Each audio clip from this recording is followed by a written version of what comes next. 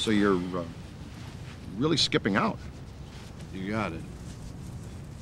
Somehow it just doesn't seem right. Welcome to Watch Mojo, and today we're counting down the Christmas movies even the Grinch wouldn't wish upon Whoville. Oh, hey! Oh, I'm so sorry. I didn't mean to scare you. Who am I kidding? Of course I did. What's Christmas without a little terror? Number 10. Best Christmas Ever. Here's the answer to the question What if ChatGPT wrote a Christmas movie? That's what this Christmas movie with no Christmas spirit seems like, anyway. How do you know he knows? Because I called him. You actually spoke to Santa. The fat man and I are like that, yo. Homie? The plot gimmick of misunderstanding that kickstarts all the antics in the movie is basically someone says something sarcastically, another person interprets it as something else completely, and then events cascade to the extreme. What is your problem, girl? The problem is you, Jackie. Your life is just too wonderful for her. It's constant miscommunications done in the exact same way throughout the 80 minute runtime. It's sad that though the movie is called Best Christmas Ever, the holiday serves as nothing more than background and an excuse to get corny and sentimental in the end. You saved my Christmas, Char. you saved my Christmas. Number 9. I'll Be Home for Christmas. The song I'll Be Home for Christmas was written for a noble cause, as a means to honor the soldiers in World War II who couldn't be home with their families. The movie I'll Be Home for Christmas has absolutely no relation to the song and does nothing but waste everyone's time. Nice try, but no chance. Hmm, must be defective. None of the characters are written as if they could be real people with real motivations. And the humor is so lazy and cheap that you'd think you grabbed this from a bargain bin. Am I alive? Sir, I have never been happier to answer that question in my life. Yes, you are alive. You been asked that question before? Ah, oh, maybe 10, 12 times. And when there's no respect for grim subject matter like a death in the family, it's hard to imagine who this movie was made for. In the end, it just comes off as insensitive and totally apathetic, with not even much of a classic Christmas message about sharing and family and love. Santa, if you showed up on my doorstep in a one-horse open sleigh, I wouldn't believe you. Allie, I'm sorry. You know, I can't take fake remorse from a fake Santa making fake apologies. Number 8. Surviving Christmas. Tis the season to be as mean spirited as possible. That is the core of much of the plot of Surviving Christmas, and it makes every character in the movie unlikable in the worst ways possible. Man, this is great, man. This is the best, you guys. Sitting around eating dinner like a family, you know? I always wanted that. It's just really wonderful. Surviving Christmas has Ben Affleck playing a millionaire who pays a family to let him stay at their house and be his fake family for the holidays. Yes, it is very awkward, and the movie gets unnecessarily raunchy at times. Kyle, what are you looking at? It's just, it's research. You know, when I was young, we didn't sit alone in our rooms drooling over nude ladies on computer screens. To make matters worse, it suddenly shifts from a movie about a man who never had a Christmas with a family to a cringy rom com where it comes off like the couple hates each other more than they're attracted to each other. Really, we can't even label it as a so bad it's good type of flick. Alicia, be careful with, with the car. Can we talk about this? No. Number 7. Jack Frost. This one was a major box office bomb. Jack Frost is about an arrogant rock singer played by Michael Keaton who dies in a car accident only to be brought back as a snowman. I'm home. hey, I'm home. If this plot sounds familiar, it's because like 200 other movies have used the died but resurrected as X plot before, including for Christmas movies. The only difference is that Jack Frost is out to make everyone miserable. You almost got me killed. Hey, I saved your butt too, pal. Yeah, right. So I'm supposed to believe that you're my dad? Hey, do me a favor. Go easy on me. Had the movie decided on what tone to go for, maybe this could have worked.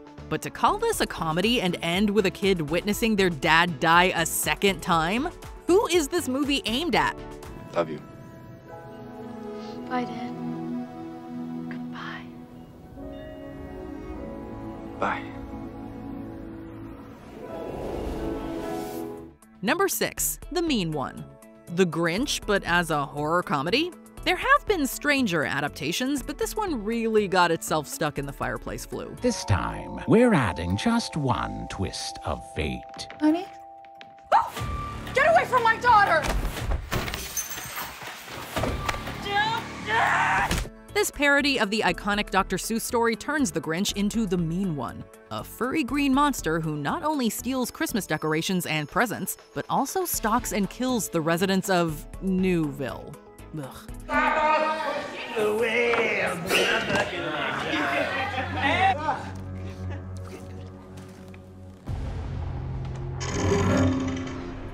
Yeah, the movie fails in every facet possible. It isn't scary enough to call it a horror.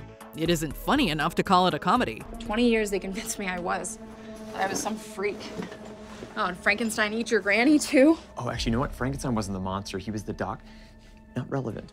To find any appreciation for the mean one, our hearts would have to exceed three sizes. Number 5. The Santa Clause 3 The Escape Clause. Just couldn't leave the Santa Clause franchise alone after a sequel, eh?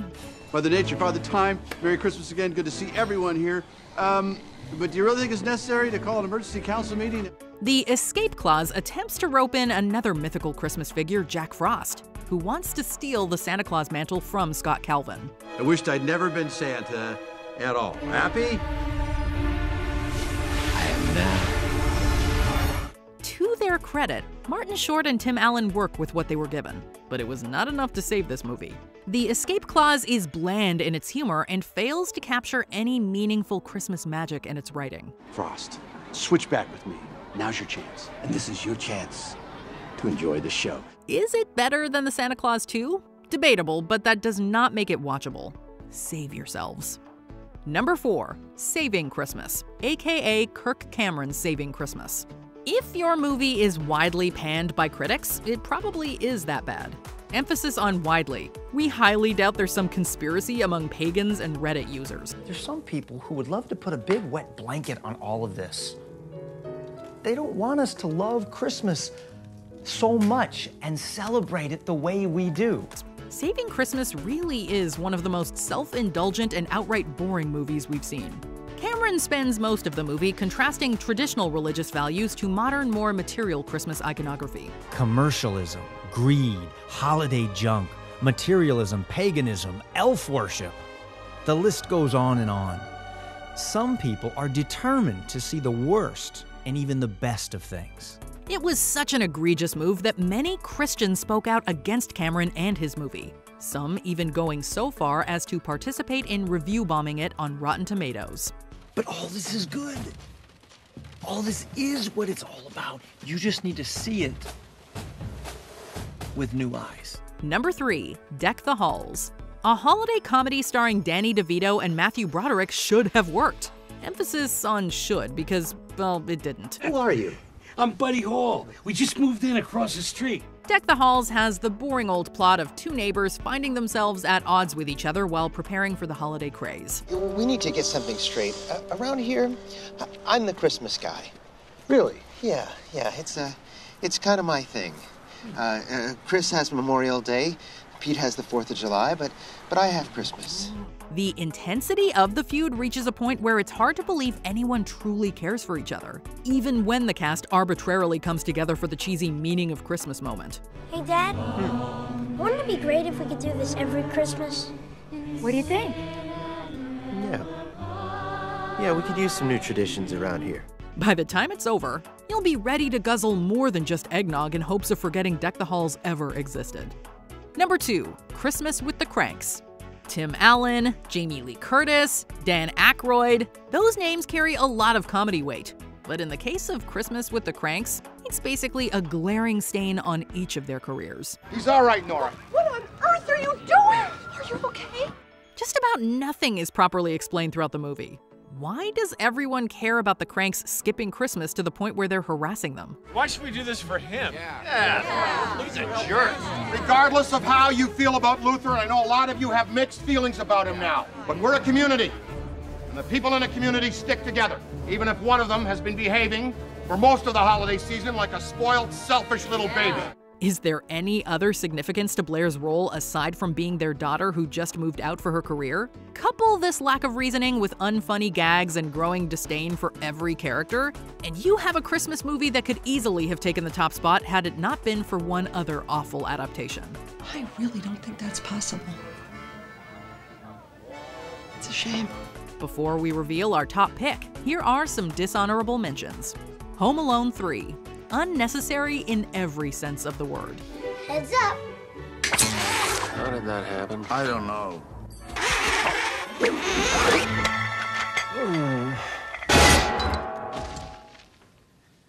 Ouch. Daddy's Home 2 will make you resent Do They Know It's Christmas.